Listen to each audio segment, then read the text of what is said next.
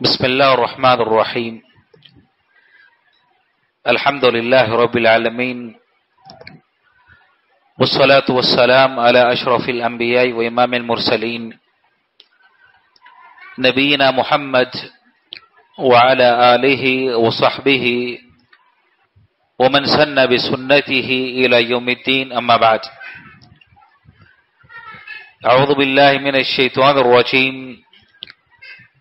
من حمزه ونفخه ونفثه. قل إن كنتم تحبون الله فاتبعوني يحببكم الله. برادران اسلام خواتین ملت اللہ تعالی کے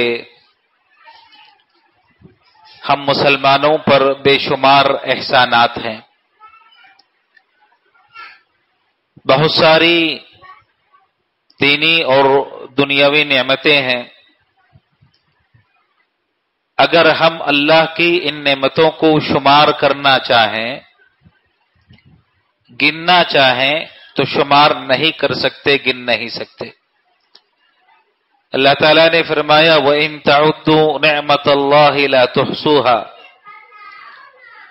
اگر تم اللہ کی نعمتوں کو گننا چاہو، شمار کرنا چاہو، تو نہ گن سکتے ہو اور نہ ہی شمار کر سکتے ہو۔ اللہ کی بے شمار نعمتوں میں سے جو نعمت سب سے عظیم ہے، جو نعمت سب سے بڑی ہے اور اس نعمت سے بڑھ کر دنیا میں کوئی اور نعمت بڑی نہیں ہو سکتی۔ وہ نعمت جس کا تذکرہ اللہ تعالی نے قرآن مجید کی ایک آیت کریمہ میں کیا، لقد من اللہ علی المؤمنین۔ اذ بعث فیہم رسولا من انفسہم۔ کہ اللہ تعالیٰ نے مسلمانوں پر، مومنین پر احسان فرمایا۔ وہ احسان کیا ہے؟ اللہ تعالیٰ نے ذکر کیا، اذ بعث فیہم رسولم کہ اللہ تعالیٰ نے انہی میں سے ایک رسول ان کے پاس بھیجا۔ تو رسول کی بعثت، رسول کا مبعوث ہونا دنیا کی جتنی نعمتیں ہیں، ان ساری نعمتوں میں سب سے عظیم نعمت۔ سب سے بڑی نعمت۔ اور یہ نعمت اس لیے ہے کہ آج ہمارے پاس اسلام ہے تو وہی نبی ذریعہ ہیں۔ آج ہم سرات مستقیم پر ہیں تو اسی رسول کے واسطے سے۔ اللہ تعالی نے ہدایت دی، صحابہ اس کا اعتراف کیا کرتے تھے کہ اللہ تعالیٰ نے رسول کے ذریعے ہم کو ہدایت دی۔ یہ رسول ہی تھے جس کی وجہ سے بتوں کی عبادت سے نکلے، توحید کی طرف آئے۔ شرک کو چھوڑ دیا۔ برات کو ترک کر کے سنت کی راہ اپنائی۔ یہ رسول ہی تھے جنہوں نے ہمیں اچھے اخلاق کی تعلیم دی سلا رحمی سکھایا۔ بلند اخلاق، بلند کردار۔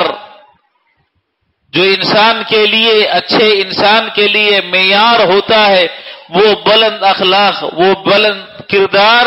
اگر کسی نے بتایا، کسی نے سکھایا تو یہی ہمارے آخری نبی محمد الرسول اللہ صلی اللہ علیہ وسلم کی ذات گرامی۔ اس رسول کے ہم پر بہت سارے حقوق ہیں۔ اسی لیے اللہ تعالی قبر میں جو انسان سے تین سوال کریں گے، تین سوال پوچھیں گے، ان تین سوالوں میں سے ایک سوال کہ تمہارے نبی اور تمہارے رسول کون ہیں؟ جو مومن ہے، مسلمان ہے، وہ جواب دے گا کہ میرے رسول محمد صلی اللہ علیہ وسلم ہے جو منافق ہے مشرق ہے، وہ کہے گا ہاں ہاں لا ادری، مجھے پتا نہیں کہ نبی کون ہے، رسول کون ہے۔ کون میری طرف بھیجے گئے تھے اس کی مجھے اطلاع نہیں، اس کی مجھے خبر نہیں۔ تو اللہ تعالی قبر میں جو سوالات پوچھے گا، تین سوالات میں سے ایک سوال محمد الرسول اللہ صلی اللہ علیہ وسلم کے تعلق سے ہوگا۔ اور وہی شخص جواب دے سکتا ہے، وہی شخص قبر میں نجات پا سکتا ہے، جو شخص نبی کریم صلی اللہ علیہ وسلم کے جو حقوق ہم پر اللہ تعالی نے واجب اور ضروری قرار دیے ہیں، ان حقوق کو ادا کرتا ہے۔ ان حقوق کو اپناتا ہے، ان حقوق کو بجا لاتا ہے۔ وہ کیا حقوق ہیں؟ محمد الرسول اللہ صلی اللہ علیہ وسلم کے، ہم مسلمانوں پر جس کو اللہ نے فرض قرار دیا، واجب قرار دیا، انہی حقوق کو میں مختصر سے وقت میں آپ کے سامنے رکھنے کی کوشش کروں گا۔ سب سے پہلا حق جو مسلمان پر نبی کا عائد ہوتا ہے، رسول کا اللہ تعالی نے واجب قرار دیا ہے، وہ ہے المان و بہ۔ پیارے رسول صلی اللہ علیہ وسلم پر ایمان لانا۔ ایمان کے بغیر دنیا کا کوئی انسان کامیابی حاصل نہیں کر سکتا۔ آپ کا حق ادا نہیں کر سکتا۔ سب سے پہلا حق مسلمانوں پر، بلکہ کائنات کے سارے انسانوں پر جو عائد ہوتا ہے پیغمبر کا، رسول کا، کہ مسلمان دنیا کے سارے انسان پیارے رسول صلی اللہ علیہ وسلم کی رسالت اور نبوت پر ایمان لائیں۔ آپ کو نبی تسلیم کریں۔ میرے محترم مسلمان دوستو، اگر کوئی آپ کو نبی نہیں مانتا، آپ کی رسالت کو تسلیم نہیں کرتا، تو اس کا ٹھکانہ جہنم ہے۔ پیاری رسول صلی اللہ علیہ وسلم نے فرمایا، لا يسمع بي من هذه الامه يهودي ولا نصراني ثم لا يؤمن بي الا كان من اصحاب النار۔ کسی یہودی کے پاس میری بات پہنچ جاتی ہے۔ کسی عیسائی کے بعد میری بات پہنچ جاتی ہے۔ اس کو معلوم ہو جاتا ہے کہ اللہ نے مجھے نبی اور رسول بنا کر بھیجا ہے۔ رسول بنا کر مبعوث کیا ہے۔ پھر بھی وہ مجھ پر ایمان نہیں لاتا۔ اللہ کان من اصحاب النار، تو ایسا عیسائی اور ایسا یہودی جہنمی ہے۔ جو بھی نبی صلی اللہ علیہ وسلم کو نبی اور رسول تسلیم نہیں کرتا، آپ پر ایمان نہیں لاتا، وہ انسان جہنمی ہے۔ اگرچہ اپنے مسلمان ہونے کا دعویٰ کرتا ہو، اگرچہ کوئی یہودی موسا علیہ السلام کو مانتا ہو کوئی عیسائی عیسیٰ علیہ السلام کی رسالت کو تسلیم کرتا ہو، لیکن نبی کو نہیں مانتا، نبی کی رسالت پر ایمان نہیں لاتا۔ نبی علیہ السلام نے فرمایا کہ ایسا عیسائی اور ایسا یہودی جہنمی ہے دنیا کے سارے انسانوں پر۔ نبی علیہ السلام کے آ جانے کے بعد آپ کی نبوت اور آپ کی رسالت پر ایمان لانا واجب اور ضروری ہے۔ اسی لیے آپ دیکھتے ہیں کہ ایسے جو اہل کتاب تھے، اللہ نے جن کو کتاب عطا کیا تھا، نبی علیہ السلام نے فرمایا کہ اگر کوئی اہل کتاب جس کو اللہ نے سابق میں کتاب سے نوازا ہے عیسائی ہے، یہودی ہے، وہ ایمان لاتا ہے، اس کو ڈبل اور دگنا اجر ہے۔ ڈبل ثواب۔ نبی علیہ السلام نے فرمایا کہ اہل کتاب میں سے اگر کوئی کتابی چاہے یہودی ہو، عیسائی ہو، عیسائی تھا، یہودی تھا، نبی علیہ السلام آ جاتے ہیں سن لیتا ہے آپ کے بارے میں اور پھر ایمان لاتا ہے تو اللہ کے نبی علیہ السلام نے فرمایا کہ اللہ تعالیٰ اس کو ڈبل ثواب عطا کرے گا۔ دگنے اجر سے دے گا، اس لیے کہ سابقہ نبی پر بھی وہ ایمان لایا اور نبی علیہ السلام کی رسالت کو بھی تسلیم کر لیا۔ میرے دوستو، نبی علیہ السلام پر ایمان لانے میں یہ بھی شامل ہے، یہ بھی داخل ہے۔ کہ آدمی اس بات پر یقین رکھے، اس بات پر ایمان رکھے کہ آپ کی رسالت کسی قریے کے لیے، کسی قوم کے لیے، کسی ایک بستی کے لیے نہیں، بلکہ ساری کائنات کے لیے ہے۔ اسی لیے آپ دیکھتے ہیں، نبی علیہ السلام کے بارے میں اللہ تعالیٰ نے فرمایا کہ نبی، آپ دنیا کے لوگوں میں اعلان کر دیجیے، ان سے کہہ دیجیے کہ اے لوگو یا ایو الناس اللہ نے فرمایا کہ اے لوگو، انی رسول اللہ الیکم جمیعا، اللہ نے مجھے تم سب کا رسول بنا کر بھیجا ہے۔ سب پوری دنیا کے جتنے انسان ہیں، چاہے جس کونے میں رہتا ہو، جس زبان میں وہ گفتگو کرتا ہو، جس شہر میں رہتا ہو، جس محلے میں بستا ہو دنیا کے سارے انسانوں کی طرف اللہ تعالیٰ نے پیارے رسول صلی اللہ علیہ وسلم کو نبی اور رسول بنا کر مبوس کیا ہے۔ کسی ایک بستی، کسی ایک قوم، کسی ایک قریے کے لیے آپ کی رسالت اور نبوت نہیں، بلکہ کائنات کے سارے انسانوں کے لیے۔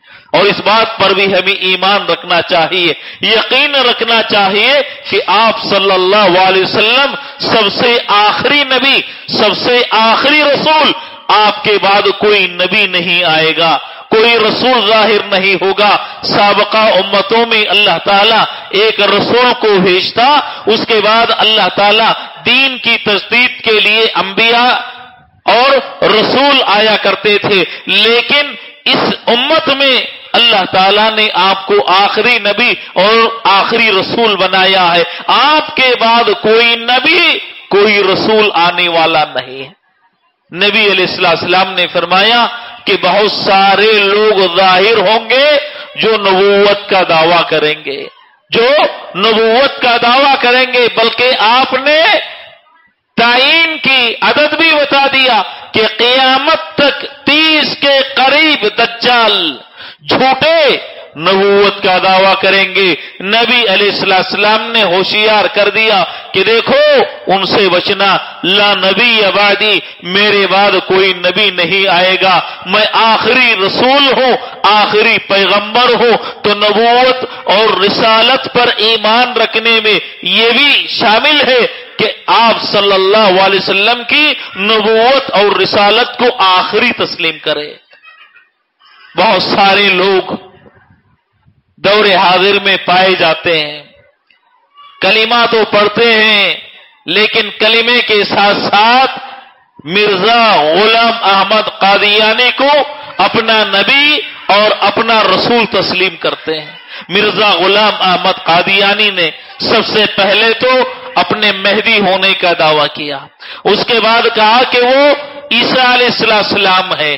عیسیٰ علیہ السلام کا سایہ ہے۔ اس کے بعد اپنے نبی اور رسول ہونے کا دعویٰ کیا۔ میرے محترم مسلمان دوستوں بہت سارے لوگ فریب کا شکار ہو کر مرزا غلام احمد قادیانی کی نبوت کا اقرار کرتے ہیں، یہ مسلمان نہیں ہو سکتے، یہ مومن نہیں ہو سکتے۔ اسی لیے سارے امت کے علماء کا متفقہ فیصلہ ہے کہ قادیانی کافر ہیں، کیونکہ نبی علیہ السلام آخری نبی اور آخری رسول ہیں۔ اگر کوئی شخص آپ کی رسالت کے بعد، آپ کی نبوت کے بعد کسی اور کی نبوت کا اقرار کر کرتا ہے تو وہ اسلام سے خارج ہے۔ میرے محترم مسلمان دوستو، یہ پہلا حق ہے نبی کریم صلی اللہ علیہ وسلم کا کہ مسلمان آپ پر ایمان لے آئے، آپ پر یقین کرے کیسا ایمان ہونا چاہیے۔ کیسا یقین؟ آدمی کو اپنے نفس سے زیادہ آپ صلی اللہ علیہ وسلم کی ذات پر یقین ہونا چاہیے۔ آپ پر ایمان ہونا چاہیے۔ کہ آپ سچے ہیں، آپ برحق ہیں، اللہ کی طرف سے بھیجے گئے ہیں۔ ایک سیکنڈ، ایک لمحے کے لیے بھی آپ کی رات کی نبوت میں اور رسالت میں کسی کو شک اور شبہ پیدا نہیں ہونا چاہیے۔ اللہ نے بے شمار موجزے آپ کو عطا کیے۔ قرآن کریم کا جو موجزہ اللہ تعالیٰ نے جو عطا کیا ہے، اگر مسلمان صرف قرآن کو پڑھ لے اس کو سمجھ لے، یہ ایک موجزہ آپ کے نبی اور رسول ہونے کے ہونے پر ایمان لانے کے لیے کافی۔ ایک موجزہ قرآن مجید کا۔ دنیا کے سارے لوگ اکٹھا ہو گئے بنانے کے لیے۔ بہت سارے فصیح عربی لوگوں نے کوشش کی کہ ایک آیت کی طرح قرآن مجید کی بنا دیا جائے، لا لیا جائے، گھڑ لیا جائے آج تک کوئی ایک بھی قرآن مجید کی ایک آیت کی مانند، قرآن مجید کی ایک آیت کی طرح عبارت نہیں بنا سکا۔ عبارت پیدا نہیں کر سکا۔ مسلمہ کا راب نے نبوت کا دعویٰ کیا۔ بہت سارے صحابہ کو اس نے دعوت دیا کہ آؤ، دیکھو میری نبوت کو۔ میرے کلام کو سنو۔ میرے کلام کو جانچو۔ امر ابن عاص رضی اللہ تعالیٰ اس جھوٹے نبی کے بعد سے آتے ہیں۔ اس کے کلام کو سنتے ہیں۔ اپنا کلام سناتا ہے۔ اس کے کلام کو سن کر مسکراتے ہیں۔ اس کے بعد وہ پوچھتا ہے، سوال کرتا ہے کہ اور کیا رائے ہے تمہاری؟ اس کلام کے بارے میں جو میں نے تمہیں ابھی سنایا، اس عبارت کے بارے میں جو تم نے ابھی سنی، تمہاری کیا رائے ہے؟ کیا یہ قرآن سے بڑھ کر کلام نہیں ہے؟ اور ابن عاص رضی اللہ تعالی جواب دیتے ہیں، فرماتے ہیں، کہ اے جھوٹے انسان، تو اچھی طریقے سے جانتا ہے، تو سمجھتا ہے کہ میں تجھے جھوٹا سمجھتا ہوں۔ میں تجھے جھوٹا سمجھتا ہوں۔ اور اس کلام کے سننے کے بعد تیرا جھوٹ مجھ پر مزید واضح ہو گیا ہے۔ مزید واضح ہو گیا ہے۔ تو جانتا ہے کہ میں تجھے جھوٹا سمجھتا ہوں۔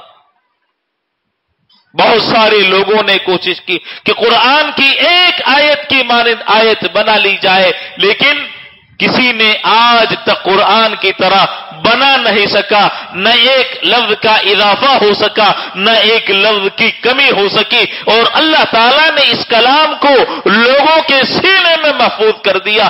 دنیا کی کوئی ایسی کتاب نہیں جس کو اتنے لوگ یاد کرنے والے ہوں، جس کو اتنے لوگ حفظ کرنے والے ہوں۔ اللہ تعالیٰ نے انسانوں کے سینے میں اس کتاب کو محفوظ کر دیا ہے۔ جو کتاب انسانوں کے سینے میں محفوظ ہے، یہ اللہ تعالیٰ کی طرف سے اس سے بڑھ کر دلیل اور کیا چاہیے؟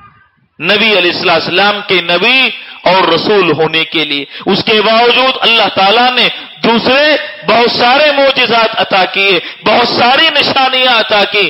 فرماتے ہیں صحابی عبداللہ بن مسعود کہ پیارے رسول صلی اللہ علیہ وسلم کے زمانے میں کفار مکہ آپ کے پاس آئے۔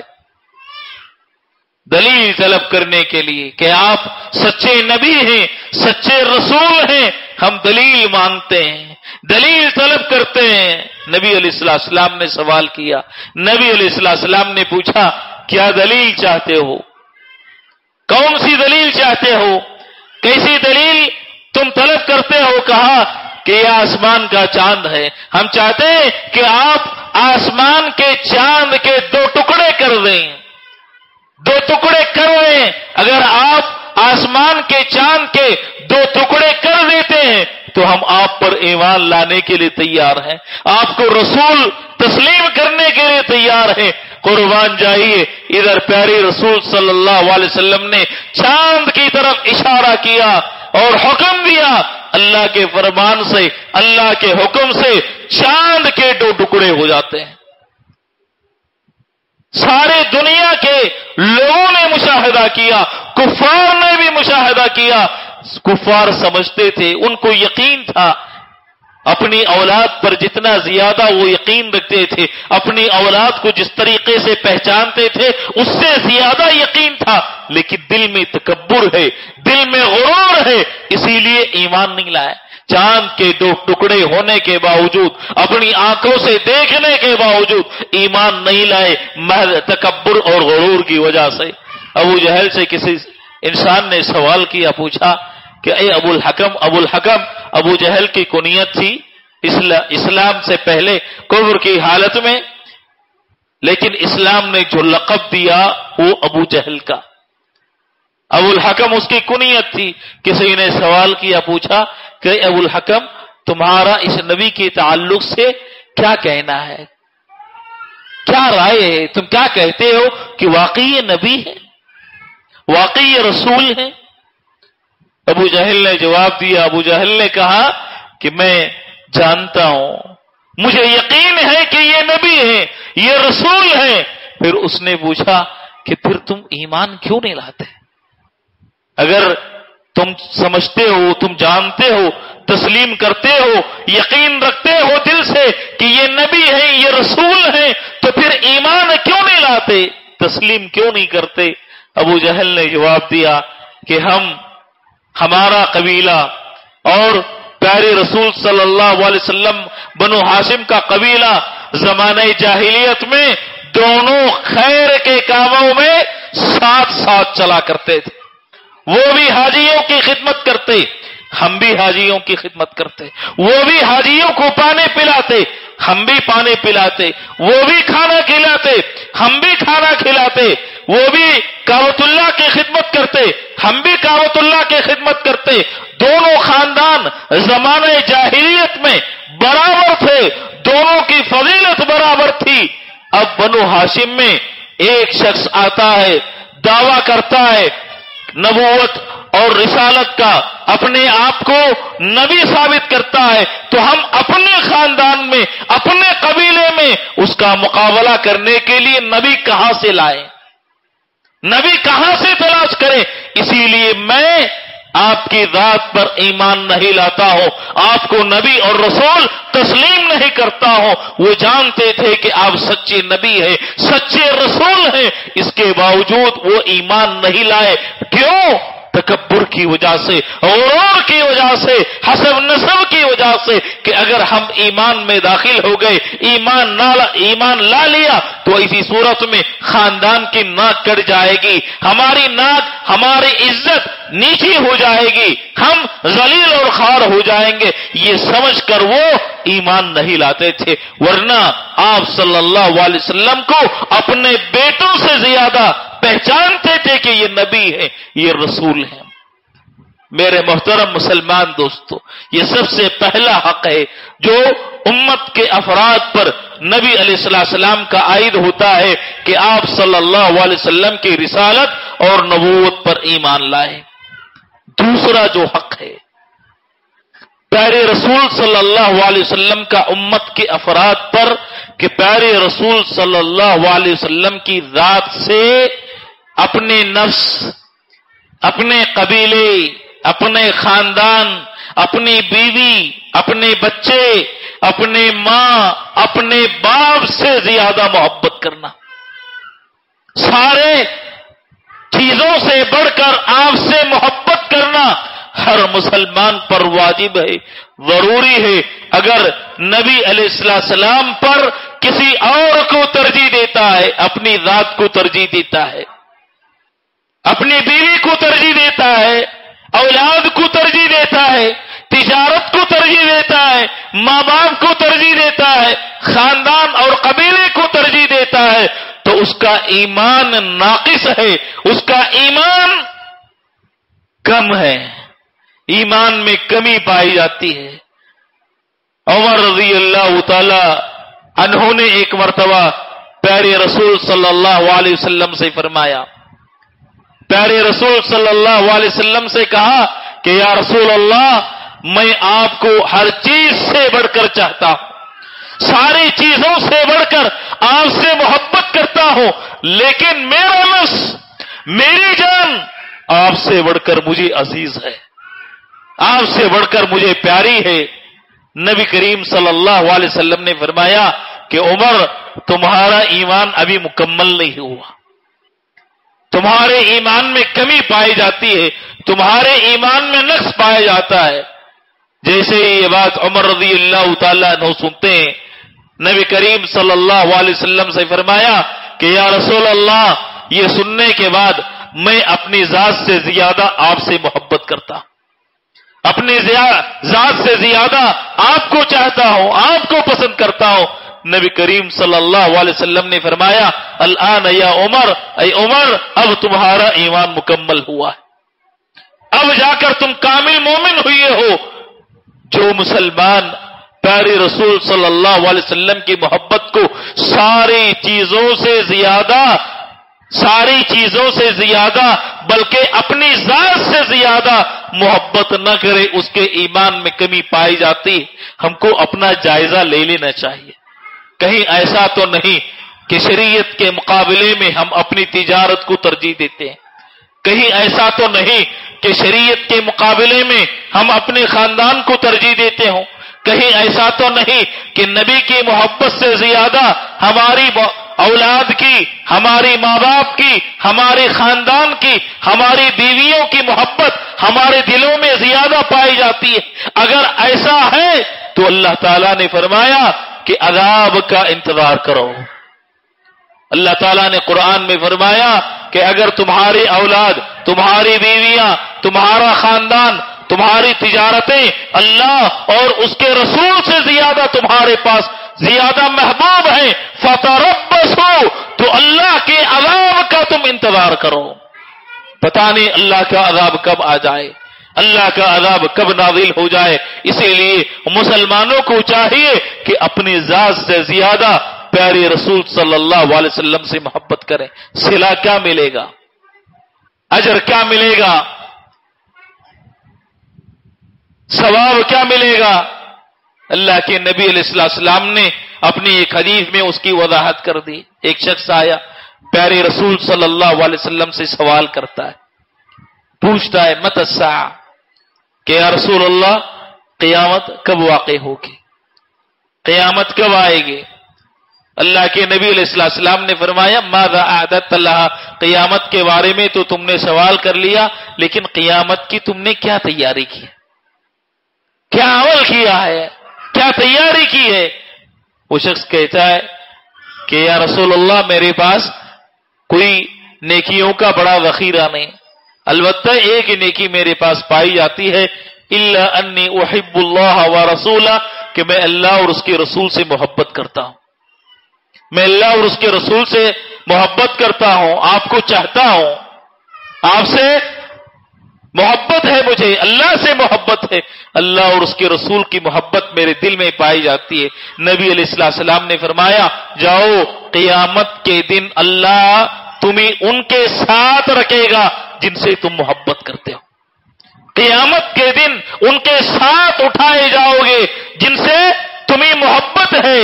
انس بن مالک رضی اللہ تعالیٰ حدیث کے راوی ہیں۔ وہ فرماتے ہیں کہ یہ جملہ ہم نے نبی علیہ السلام کی زبان سے سنا تو اتنی خوشی ہوئی، اتنی خوشی ہوئی کہ اس سے پہلے کبھی ہمیں اتنی خوشی محسوس نہیں ہوئی تھی۔ کیوں؟ اس لیے کہ ہم عمل میں نبی کریم صلی اللہ علیہ وسلم کی برابری نہیں کر سکتے۔ عمل میں اب وکر کی برابری نہیں کر سکتے۔ عمل میں عمر رضی اللہ تعالیٰ نو کی برابری نہیں کر سکتے۔ عمل میں صحابہ کی برابری نہیں کر سکتے، لیکن کم سے کم ان سے محبت تو کر سکتے ہیں۔ نبی سے محبت تو کر سکتے ہیں، ابو بکر سے محبت تو کر سکتے ہیں، عمر فاروق سے محبت تو کر سکتے ہیں، سارے صحابہ سے محبت تو کر سکتے ہیں۔ انس کا بیان ہے، وہ کہتے ہیں کہ عمل میں ان کی برابری نہیں کر سکتے، لیکن کم سے کم صحابہ سے محبت کی وجہ سے کل قیامت کے دن اللہ ہم کو صحابہ کے ساتھ اٹھائے گا۔ صحابہ کے ساتھ رکھے گا۔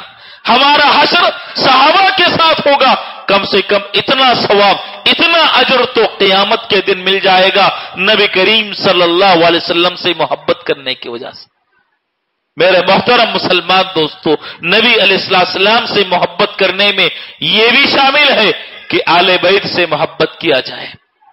آپ کی اولاد سے محبت کیا جائے، امہات المومنین سے محبت کیا جائے۔ سارے صحابہ سے محبت کیا جائے، نبی علیہ السلام میں محبت کرنے میں یہ بھی داخل ہے۔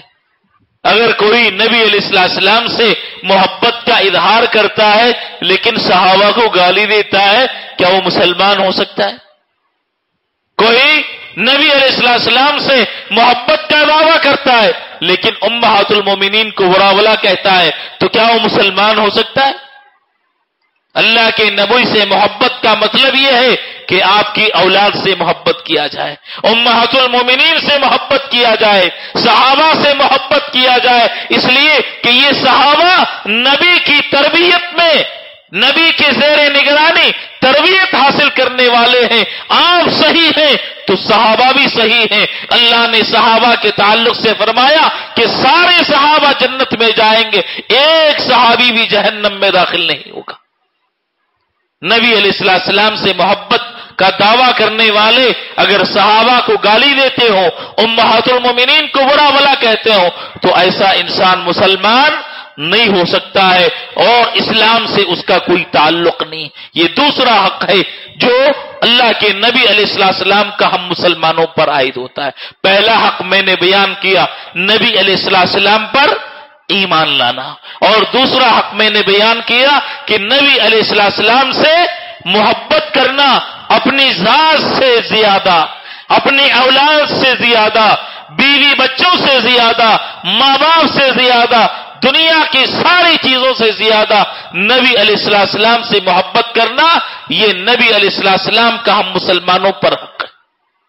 تیسرا حق جو ہم مسلمانوں پر نبی علیہ السلام کا عائد ہوتا ہے، نبی علیہ السلام کی توقیر، احترام اور عزت کرنا۔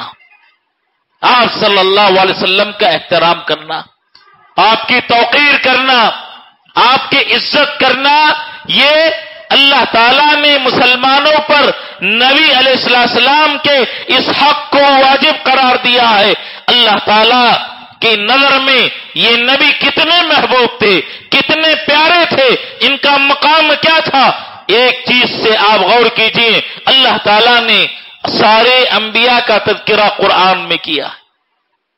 انبیاء کا نام لیا، اللہ تعالیٰ نے نو علیہ السلام کو مخاطب کیا، تو ان کے نام کے ساتھ یا نو اللہ تعالیٰ نے ابراہیم سے خطاب کیا علیہ السلاۃ والسلام تو ان کے نام سے خطاب کیا۔ اللہ نے موسا علیہ السلام کا تذکرہ کیا تو ان کے نام کے ساتھ ذکر کیا۔ عیسیٰ علیہ السلام کا تذکرہ کیا تو ان کے نام کے ساتھ۔ ادریس ہارون اور سارے دیگر انبیاء کا تذکرہ کیا تو ان کے نام کے ساتھ، لیکن اللہ تعالیٰ نے جب نبی کا نام لیا تو صرف نبی کا نام نہیں لیا، بلکہ اللہ تعالیٰ نے آپ کے نام کے ساتھ رسالت اور نبوت کو جوڑ دیا۔ محمد الرسول اللہ اللہ نے صرف محمد نہیں کہا، بلکہ اللہ نے کہا، محمد الرسول اللہ کہ یہ محمد ہے، اللہ کے رسول ہیں۔ اللہ کے نبی علیہ السلام کا اللہ نے نام لیا تو نبوت اور رسالت کے ساتھ اللہ نے نام لیا۔ یہ اللہ تعالیٰ کے پاس اس نبی کا، اس رسول کا مقام ہے، اس رسول کا مرتبہ ہے۔ میرے محترم مسلمان دوستو، نبی علیہ السلام کی توقیر کرنا آپ کی زندگی میں بھی، آپ کے زندگی کے بعد بھی اللہ تعالیٰ نے صحابہ کو ادب سکھایا۔ صحابہ کو تعلیم دی کہ لا ترفعوا اصواتكم فوق صوت النبي ولا تجهروا له بالقول كجهر بعضكم لبعض ان تهبط اعمالكم وانتم لا تشعرون۔ اس نبی کے سامنے اپنی آوازوں کو بلند نہ کرو۔ اپنی آواز کو اونچی نہ کرو۔ اونچی آواز سے گفتگو نہ کرو۔ اللہ نے ادب سکھایا کہ نبی سے کیسے بات کرنا ہے، کیسے گفتگو کرنی ہے، کیسے ہم کلام ہونا ہے۔ رب نے کہا کہ جس طرح دوسروں کے سامنے بلند آواز سے بات کرتے ہو، اس طرح نبی کے سامنے بلند آواز سے بات نہ کرو۔ کیوں؟ اگر تم نے نبی کے سامنے اونچی آواز میں بات کیا تو اللہ تمہارے سارے اعمال کو برباد کر دے گا۔ ساری نیکیاں غائب ہو جائے گی۔ ثابت ابن قیس ابن شماس رضی اللہ تعالیٰ عنہ، نبی کریم صلی اللہ علیہ وسلم کے عظیم صحابی۔ آواز اونچی تھی۔ آواز بلند تھی فطری طور پر۔ خطیب تھے انصار کے۔ ان کا لقب تھا، خطیب الانصار کے انصار کے خطیب۔ اونچی آواز میں گفتگو کرنے والے، اونچی آواز میں بات کرنے والے۔ جب یہ آیت کریمہ نازل ہوئی لا ترفعوا اصواتکم فوق صوت النبی، کہ اپنی آوازوں کو نبی کی آواز پر اونچی نہ کرو۔ نبی سے زیادہ اپنی آوازوں کو بلند نہ کرو۔ یہ آیت کریمہ نازل ہوئی تو اپنے گھر میں مقید ہو کر بیٹھ گئے۔ گھر سے باہر نکلنا بند کر دیا۔ نبی علیہ السلام نے کئی دنوں تک ثابت کو نہ دیکھ کر صحابہ سے پوچھا کہ کیا بات ہے کہ ثابت ہمارے درمیان نظر نہیں آ رہے ثابت کو میں اپنے درمیان میں نہیں دیکھتا ہوں۔ ماجرا کیا ہے؟ معاملہ کیا ہے؟ ان کے پڑوسی نے کہا کہ یا رسول اللہ، میں ان کا پڑوسی ہوں، میں ان کے احوال سے آپ کو مطلع کروں گا۔ پڑوسی گئے ثابت کے پاس، گھر میں داخل ہوئے۔ ان سے سوال کیا، پوچھا کہ کیا بات ہے؟ کیا معاملہ ہے کہ آپ نے گھر سے نکلنا کم کر دیا ہے؟ بلکہ گھر سے نکلنا بند کر دیا ہے۔ نبی علیہ السلام آج تمہارے تعلق سے سوال کر رہے تھے، تمہارے تعلق سے پوچھ رہے تھے۔ ثابت نے کہا کہ تم جانتے ہو کہ میری آواز اونچی ہے۔ میں گفتگو کرتا ہوں تو اونچی آواز میں گفتگو کرتا ہوں۔ قرآن مجید کی یہ آیت کریمہ اللہ تعالیٰ نے اتاری ہے کہ اپنی آواز کو نبی کی آواز پر بلند نہ کرو۔ نبی کی آواز سے اونچا نہ کرو۔ کہیں ایسا نہ ہو کہ اللہ تعالیٰ تمہارے اعمال کو برباد نہ کر دے۔ میں اونچی آواز سے میں نے گفتگو کی ہے۔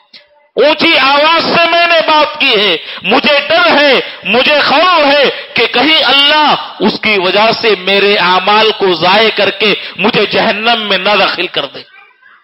جہنم میں نہ بنا دے۔ اسی ڈر سے، اسی خوف سے میں اپنے گھر سے نکلنا چھوڑ دیا۔ یہ ماجرا دیکھ کر پڑوسی نبی کریم صلی اللہ علیہ وسلم کے پاس آئے۔ جو گفتگو ثابت کے ساتھ ہوئی تھی، ساری گفتگو اللہ کے نبی علیہ السلام کے سامنے بیان کی، کہا کہ یا رسول اللہ، وہ کہتے ہیں کہ ان کی آواز اونچی ہے۔ ان کی آواز بلند ہے اور ان کو ڈر ہے، ان کو خوف ہے کہ کہیں آپ کے سامنے اونچی آواز میں بات کرنے کی وجہ سے جہنم میں داخل نہ ہو جائے، جہنم میں نہ چلے جائے۔ نبی کریم صلی اللہ علیہ وسلم نے فرمایا جاؤ، انہیں بتا دو کہ تم جہنمی نہیں ہو، بل انت من اہل الجنہ، بلکہ تم تو جنتی ہو۔ بلکہ تم تو جنتی ہو۔ جاؤ، ان کو جنت کی بشارت دے دو۔ صحابی گئے، ثابت ابن قیس ابن شماس اور رضی اللہ تعالی عنہ کو جنت کی بشارت دی۔ میرے دوستو، غور کرنے کا مقام ہے۔ سوچنے کی بات ہے کہ محض اگر آواز بلند کرنے سے انسان کے اعمال تباہ ہو سکتے ہیں، برباد ہو سکتے ہیں، اگر کوئی نبی کی بات پر کسی اور کی بات کو ترجیح دیتا ہے۔ نبی کی بات پر، نبی کی سنت پر کسی اور کے مذہب کو راجے قرار دیتا ہے، تو کیا اس کے اعمال ضائع نہیں ہوں گے؟ کیا اس کے اعمال برباد نہیں ہوں گے؟ انسان کو سوچنا چاہیے، غور کرنا چاہیے، نبی علیہ السلام کی توقیر کرنا، عزت کرنا، احترام کرنا، آپ کا ادب کے ساتھ نام لینا ہر مسلمان پر واجب اور ضروری ہے۔ اگر کوئی نبی پر تان کرتا ہے، وہ اسلام سے خارج ہے۔ اسلام سے وہ خارج ہے۔ اسلام میں اس کا کوئی حصہ نہیں۔ نبی پر تان کرنے والا۔ اللہ تعالیٰ نے قرآن مجید میں ارشاد فرمایا کل اب اللہ وہ آیاتی ہی وہ رسول ہی کن تم تستا لا تعتذروا، قد کفرتم بعد ایمانکم۔ غزوہ تبوک کا موقع تھا۔ جنگ کی حالت تھی۔ صحابہ سفر میں تھے۔ بیٹھے ہوئے تھے۔ ابن عمر رضی اللہ تعالی نما بیان فرماتے ہیں کہ ایک منافق تھا۔ اس نے کچھ غلط جملے صحابہ کے تعلق سے استعمال کر لیے کہ ان قرا کو ذرا دیکھو کہ یہ لوگ کھانے کے انتہائی حریص ہیں۔ دشمنوں سے ملتے ہیں تو بزدلی کا مظاہرہ کرتے ہیں۔ دشمنوں سے ملتے ہیں تو بزدلی کا مظاہرہ کرتے ہیں۔ اس قسم کے کچھ اوساب صحابہ کے تعلق سے بیان کیے۔ اور کہا کہ بات کرتے ہیں تو جھوٹ بولتے ہیں۔ تین چیزیں صحابہ کے تعلق سے کہیں۔ ابن عمر رضی اللہ تعالی عنما بیان فرماتے ہیں کہ اس مجلس میں ایک صحابی بھی تھے۔ منافق کی بات کو لے کر نبی کریم صلی اللہ علیہ وسلم کے پاس پہنچے تاکہ سنا سکے کہ یہ منافقین صحابہ کے بارے میں کیا کیا گفتگو کر رہے تھے، کیسی کیسی باتیں بیان کر رہے تھے۔ صحابی کے پہنچنے سے پہلے اللہ تعالی آسمان سے یہ آیت نازل کر چکا تھا۔ آسمان سے قرآن کی یہ آیت نازل ہو چکی تھی۔ کل اب اللہ وہ آیاتی ہی وہ رسول ہی کن تم کہ نبی، آپ ان لوگوں سے کہہ دیجیے منافقین سے کہہ دیجیے کہ کیا تم اللہ کا، اس کے رسول کا، اس کی آیتوں کا مذاق اڑاتے ہو؟ قرآن کی آیت نازل ہوئی، منافق آیا، عذر پیش کرنے لگا، بہانہ بنانے لگا کہ ہم تو راستہ کاٹنے کے لیے، مسافت طے کرنے کے لیے آپس میں ایک دوسرے کے ساتھ مذاق کر رہے تھے۔ مذاق میں اس قسم کی گفتگو ہو رہی تھی۔ عذر پیش کیا تو رب نے کہا، لا تعتذروا، کوئی عذر، کوئی بہانہ پیش نہ کرو۔ قد کفر تم بعد ایمانکم ایمان لانے کے بعد تم کافر ہو گئے ہو۔ ایمان لانے کے بعد اسلام سے نکل چکے ہو۔ تم نے کفر کا ارتکاب کیا۔ ذرا غور کیجیے آیت کے الفاظ پر کہ اللہ کو گالی دینا گویا کہ نبی کو گالی دینا ہے۔ نبی کو گالی دینا گویا کہ اللہ کو گالی دینا ہے۔ اللہ نے دونوں چیزوں کو ایک ہی آیت میں بیان کر دیا۔ نبی کا مذاق اڑانا، رب کا مذاق اڑانا ہے۔ رب کا مذاق اڑانا، نبی کا مذاق اڑانا ہے۔ اور دونوں چیزیں اسلام سے انسان کو خارج کرنے والی۔ اللہ نے صاف کہا، لا تعتذر کوئی بہانہ پیش نہ کرو۔ قد کفر تم بعد ایمانکم ایمان لانے کے بعد تم نے کفر کا کام کیا ہے۔ تو اگر کوئی نبی کی تنقید کرتا ہے، نبی کی توہین کرتا ہے، نبی کے ساتھ بے ادبی سے پیش آتا ہے، ایسا انسان مسلمان نہیں ہو سکتا۔ علماء امت کا اجماع ہے کہ وہ حلال الدم ہے، اس کا خون حلال ہے، اس کو قتل کرنا واجب ہے۔ انسان تو انسان، نبی کی توہین جانور بھی برداشت نہیں کر سکتے تھے۔ نبی کی توہین جانور بھی برداشت نہیں کرتے تھے۔ حافظ ابن حجر رحمہ اللہ نے اپنی کتاب الدرر الکامنہ میں ایک عیسائی کا واقعہ نقل کیا کہ بادشاہ کا دربار تھا۔ کچھ مسلمان قیدی بادشاہ کے دربار میں لائے گئے۔ عیسائیوں کا مجمع تھا۔ کئی عیسائی اکٹھے تھے، جمع تھے۔ اور ساتھ میں عیسائیوں کے پاس کتے بندے ہوئے تھے۔ رسیوں میں جگڑے ہوئے تھے۔ مسلمان قیدیوں کو دیکھ کر ایک عیسائی نبی کریم صلی اللہ علیہ وسلم کو برا بلا کہنے لگا۔ ایک عیسائی برا بلا کہنے لگا۔ نبی علیہ السلام کے بارے میں نازیبا گفتگو غلط بات کہنے لگا۔ جیسے جیسے غلط بات اس کے زبان سے نکلتی جاتی، کتے بھوکنا تیز کرتے جاتے۔ کتے کی آواز زیادہ ہوتے جاتی۔ کسی نے سمجھایا، کسی نے کہا کہ دیکھو تم نبی کے بارے میں غلط گفتگو کر رہے ہو۔ تم کو دیکھ کر، تمہاری گفتگو کو سن کر کتے بھوکنے لگے ہیں۔ کتوں کا بھوکنا زیادہ ہو چکا ہے۔ اپنی زبان کو لگاؤ دے لو۔ نبی کے بارے میں غلط گفتگو نہ کرو۔ عیسائی باز نہیں آیا۔ گفتگو کو جاری رکھتا ہے۔ غلط بات اپنی زبان سے نکالنے لگتا ہے۔ میرے محترم مسلمان دوستو، کتے نے تیزی کے ساتھ اپنی رسی کو توڑ دی۔ جو عیسائی نبی علیہ السلام کے بارے میں غلط گفتگو، غلط بات بیان کر رہا تھا، سیدھے اس کے نرخرے پر اپنا منہ ڈال دیتا ہے۔ جب تک کو کتے نے اس کو ختم نہ کر دیا، جب تک کتے نے اس کی جان نہ لی، تب تک اس کی گردن کو نہیں چھوڑا۔ مرنے کے بعد کتا اپنا منہ اس کی گردن سے نکالتا ہے۔ حافظ ابن حجر رحمہ اللہ نے اس واقعے کو ذکر کرنے کے بعد الدرر الکامینہ میں کہا، فرمایا کہ جو بھی نبی کی توہین کرتا ہے، اس کا بدلہ لینے والا اللہ تعالی ہے۔ اللہ دنیا میں اس شخص کو ذلیل کرے گا اور رسوا کرے گا۔ دنیا میں اللہ تعالیٰ اس کو اس کی سزا دے دے گا۔ لہذا مسلمانوں کو چاہیے کہ نبی کا نام لیتے ہیں، ادب کے ساتھ نام لیں۔ نبی کا احترام کریں۔ نبی کا احترام میں صحابہ کا احترام۔